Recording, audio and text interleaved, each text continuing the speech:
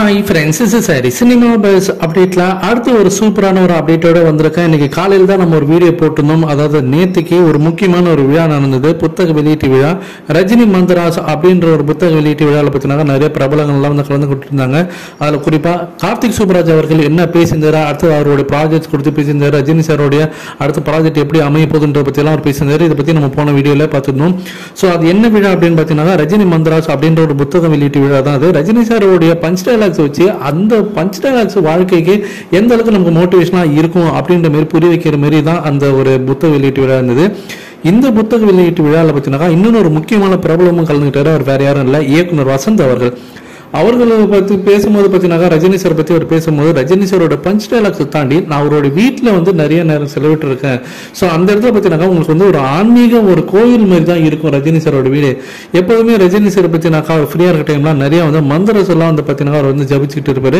அவரோட வீட்டில் எப்போதுமே ஓம் என்ற மந்திரம் பார்த்தீங்கன்னா ஒழிச்சுக்கிட்டே தான் இருக்கும். அது நம்ம காது கேட்டுக்கிட்டே இருக்கும். அந்த ஓம் என்ற மத மந்திரத்தை தாண்டி வேற எதுவும் பவர்ஃபுல்லான ஒரு சக்தி இந்த உலகத்தில் வந்து இயக்க முடியாதுன்னு நான் நம்புறேன். ஸோ அப்படி இருக்கும்போது ரஜினி சாரோட வீட்டில் பார்த்தீங்கன்னா ஏதாவது ஒரு மந்திரம் ஒழிச்சிக்கிட்டே இருக்கும். ஆனால் ஓமின்ற மந்திரம் எப்போதுமே ஒழிச்சிக்கிட்டே இருக்கும் அப்படின்ற சொல்லி அதிர வச்சிருக்காரு தான் சொல்லணும். இந்த விஷயம் பார்த்தீங்கன்னா இப்போ ஆன்லைன் சோஷியல் மீடியாவில் ரொம்ப வைரலாக போயின்னு இருக்கு.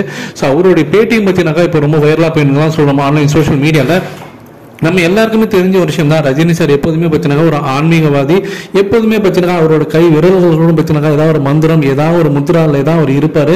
ஸோ அதை நம்ம நிறைய இடத்துல பார்த்துருக்கோம். ஆனால் வசந்த் அவர்கள் சொல்லக்கூடிய இந்த விஷயங்கள்லாம் பார்த்தீங்கன்னா இப்போ ரஜினி சார் ரசிகர்களாம் மேலும் பார்த்தீங்கன்னா அந்த ஆன்மீகத்தில் அவங்களுக்கு வந்து ஒரு நாட்டம் கொண்டு வரதுக்கு மேலும் பார்த்தீங்கன்னா அவங்களுக்கு வந்து ஒரு உத்வேகம் கொடுக்குற மாதிரி தான் இந்த விஷயம் இருக்கு. ஸோ ஃபேன்ஸ் நீங்க கீழே கமெண்ட் பண்ணுங்க.